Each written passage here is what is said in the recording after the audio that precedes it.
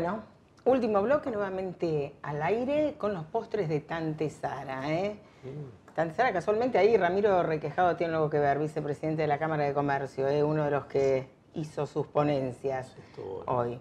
Sí, sí, es cierto. Victoria, candidata a legisladora. ¿Cómo se vive este, este nuevo rol entre tantos que tuviste? Sí, me ha tocado asumir desafíos en el último tiempo bastante seguidos. Eh, la verdad que estoy muy, muy contenta, es un gran desafío.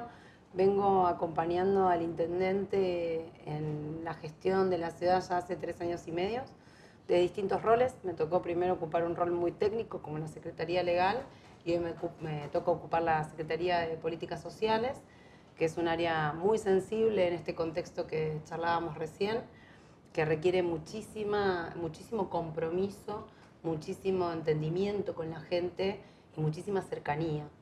Eh, y ahora este desafío de ir por una banca en la legislatura junto a Laura Colazo, una joven, una joven como yo, con una historia muy similar. Laura tiene dos años más que yo, pero es una joven de acá, que se tuvo que ir a estudiar porque no teníamos universidades públicas en ese momento en nuestra sí. provincia. Eh, cuando hablamos de la pesada herencia, ¿no? Nos dejó una universidad pública en Tierra del Fuego. Eh, y volvimos a nuestras ciudades, ella Río Grande, yo en Ushuaia, y hoy nos encontramos en este proyecto común para ofrecerle a la ciudadanía una alternativa eh, que vaya a construir una legislatura de cara a la gente, fundamentalmente. Creo que el Poder Legislativo Provincial es un poder al que en el último, en el último tiempo de nuestra corta historia como provincia le, está faltando esa apertura eh, a la gente, ese caminar codo a codo, conocer las necesidades permanentemente. Muchas veces el poder legislativo de la provincia se ve como algo lejano al ciudadano este, de a pie y creo que podemos aportar por la experiencia que hemos hecho en las distintas ciudades y por cómo nos hemos desarrollado también en la militancia, en una militancia muy, este, muy en la calle, muy en cada uno de los barrios, conociendo las necesidades de la gente, podemos aportar toda esa experiencia. ¿A eso atribuís esta lejanía? Y creo que a muchos factores. Creo que, fa- que el factor de la edad es un factor. Creo que el factor de la edad es un factor porque uno dinamiza, ¿no? Una representación joven en la legislatura tiene otra impronta. La forma de construir la política también es un elemento distintivo, ¿no? Uno puede eh, coincidir o no coincidir con Jorge Colazo o con Laura Colazo, pero no puede negar que han caminado permanentemente la ciudad de Río Grande y que siempre han dado la cara aún en las peores situaciones de la provincia. Y creo que esa es una forma de hacer la política y no detrás de un escritorio. Y a veces creo que, lo que cuesta transmitir a la gente que eh, es que lo que se legisla tiene que ver con, con su día a día, ¿no? Totalmente. El vecino Porque por ahí lo lo siente como más lejano, con pero- el consejo deliberante. Sí. ¿no? Si uno le pregunta a los vecinos de Ushuaia quiénes son los concejales, seguramente nombra a 6 de 7 a, o a los 7.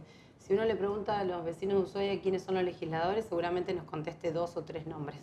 Y eso habla de una lejanía.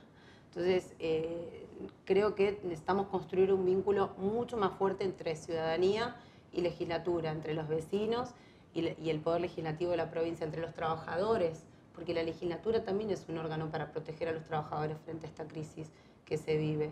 Y es un ámbito de decisión también. Bueno, acabamos ámbito de verlo con estas dos leyes con que estas dos leyes que envió sí. la gobernadora. Las cámaras es- ahí en la y legislatura. es un ámbito para generar herramientas para que el Ejecutivo pueda dar respuesta en tiempo y forma, el Ejecutivo provincial.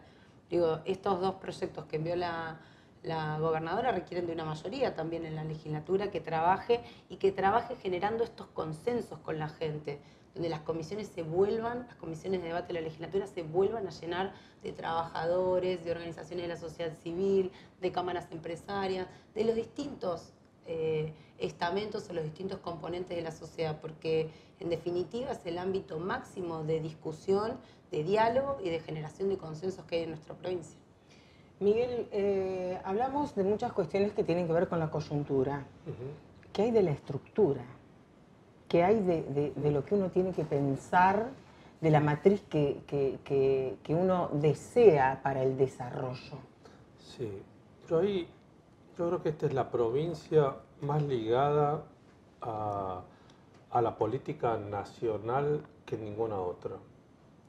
Esta provincia, el, tema de los recursos eh, hidrocarburíferos es un tema que está íntimamente relacionado con la nación. Creo que el tema de la 19640 está íntimamente relacionado con la nación. Y creo que el tema de Malvinas, que es un tema muy profundo, que, es un pedazo de esta provincia que todavía eh, no, puede ser propio, está relacionado con la nación. Entonces necesitamos, en lo que se viene, eh, un gobierno que pueda entender la política nacional, que pueda accionar en ese mundo, que es muy complejo. Es un, es un mundo muy complejo, no es un, no es un mundo simple. Es un mundo donde hay que construir consenso. Si Tierra del Fuego se queda sola, si Tierra, si tierra del Fuego se piensa sola, está perdida porque es, eh, somos chiquitos. Entonces hay que, hay que tejer acuerdos, hay que estar adentro de un partido nacional sobre el cual mm, vos puedas tejer, acuerdos con otras provincias, con, otros eh, eh, sectores sociales que permitan que el tema petroquímico lo podamos desarrollar en Tierra del Fuego, que la 19640 continúe siendo una política nacional, es una, es una política eh, territorial, es una política de soberanía, y el tema de Malvinas también. Entonces, si no, si no hay un paraguas nacional, si no hay un partido nacional, si no hay un movimiento nacional que entienda estas cuestiones... ¿Qué opinas respecto de, de la política eh, exterior, puntualmente en el tema de Malvinas. No, bueno, de este gobierno. Sí, claro. Yo creo que es de una debilidad pasmosa. Yo creo que es, casi grave. Yo creo que esta idea de una ley que está promoviendo la gobernadora de que todos los temas de Malvinas tengan que ser acordados en el Congreso, y ahí te das, ahí tomas dimensión de la cuestión nacional. Si, si, si Tierra del Fuego no se piensa nacionalmente, está en un problema. Si nosotros no nos pensamos nacionalmente, ¿qué nos queda para Tierra del Fuego? Que es una política nacional que está en la Constitución Nacional. Entonces, yo creo que esto es una base y yo creo que la, cuestión de los grandes partidos nacionales, de los grandes consensos, es fundamental para Tierra del Fuego. Nadie puede pensar Tierra del Fuego si no piensa la nación. Nadie puede pensar Tierra del Fuego, nadie puede pensar Malvina, nadie puede pensar la 19640, nadie puede pensar la soberanía hidrocarburífera, la soberanía pesquera. Si, no, lo contextualizas. Si, no lo, si no lo contextualizas nacionalmente. Entonces esto no es un problema de localía, esto es un problema nacional. Y alguien que no entienda la cuestión nacional no puede pensar Tierra del Fuego. Esto es fundamental. ¿Coincidís, Victoria? Sí, coincido plenamente. No creo que haya provincia que se realice en un país que no se realiza. Sí, pero particularmente Tierra del Fuego. Particularmente Tierra del Fuego. Es el límite sur, es el límite sur de la Argentina. Acá se, están, se, se, pelean cuestiones que no se pelean en Córdoba, que no se pelean en Corrientes, que no se pelean en Mendoza. Acá estamos, acá estamos, nosotros tenemos una parte, una, parte, una parte del territorio de esta provincia no tenemos soberanía sobre él. Entonces, si vos no te pensás nacionalmente, no puedes pensar la provincia. Y yo creo que eh, la ley de Malvinas, que está promoviendo la gobernadora, es, fundamental, porque si no, no, hay manera de que esa parte del territorio provincial se incorpore a nuestra, a nuestra provincia. Pero eso lo replica, abandonemos la cosa patriótica, pero el tema de la pesca, el, petra, el tema de los hidrocarburos, el tema, el tema de que en la Argentina se produzca, se produzca eh, industria electrónica, también es una cuestión de relevancia nacional. Entonces, si vos no tenés la capacidad de llegar a esos acuerdos, no puedes pensar la provincia. Nos queda un minuto nada más. Victoria, ¿y todo esto que estamos hablando se traduce en qué tipo de propuestas en el ámbito legislativo provincial?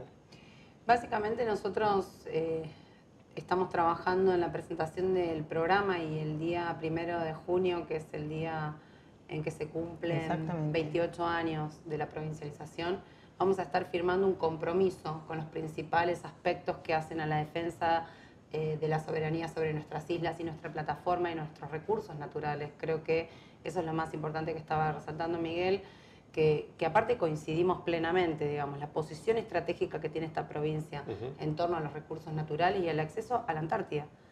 también. Es una de las grandes reservas de agua que existen en el mundo.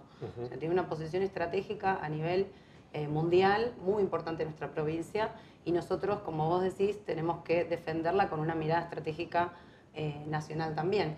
Eso va a ser parte además de Ushuaia como polo logístico, ¿no? Totalmente. Eso va a ser parte de nuestra plataforma. Un aspecto muy fuerte y también tiene que ver con la trayectoria de Laura Colazo y el Partido Verde de la plataforma va a estar puesta sobre la explotación de nuestros recursos naturales y este, la concreción de proyectos que hagan el desarrollo sustentable, porque también lo cierto es que esa explotación de los recursos naturales tiene que ser equilibrada.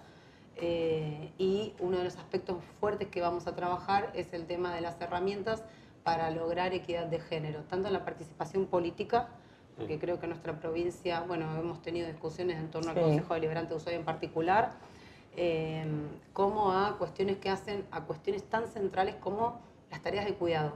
Hoy las tareas de cuidado están mayoritariamente puestas eh, o a cargo de las mujeres, en este contexto en que te decía que solo el 38% de las mujeres tienen trabajo en nuestra provincia y esas mujeres generalmente cargan además con todas las tareas domésticas. Entonces, uno de los proyectos centrales está eh, pensado en función de garantizar la distribución de los espacios de cuidado en forma conjunta entre entre el Estado, el privado y la comunidad, administrando en forma conjunta los espacios de cuidado, que de hecho la gobernadora dio un primer paso en, o nos este, tomamos un poco esa experiencia con la Fundación Primeros Pasos, que firmó un convenio para crear un espacio para la primera infancia en el barrio Dos Banderas, dando un claro ejemplo de una fundación con el gobierno provincial, el municipio y un privado que apadrina esa fundación, cuatro sectores garantizando el espacio de cuidado para que nuestras madres puedan, eh, además, realizar las tareas de sustento económico de sus hogares. Creo que ese va a ser un punto importante para nosotras en este contexto. Yo les agradezco mucho haber eh, venido a esta mesa. Eh, Victoria Boto, secretaria de Políticas Sociales del municipio, candidata a legisladora. Miguel Pese, presidente del Banco de la Provincia de Tierra del Fuego. Les agradezco bueno, a, toda la gente que está trabajando así en, la producción, en, sonido, en cámaras, y bueno, a ustedes que están del otro lado de la cámara por acompañarnos cada jueves. Nos reencontramos el próximo jueves aquí, en sexto sentido. Gracias. Muchas gracias. Muchas gracias.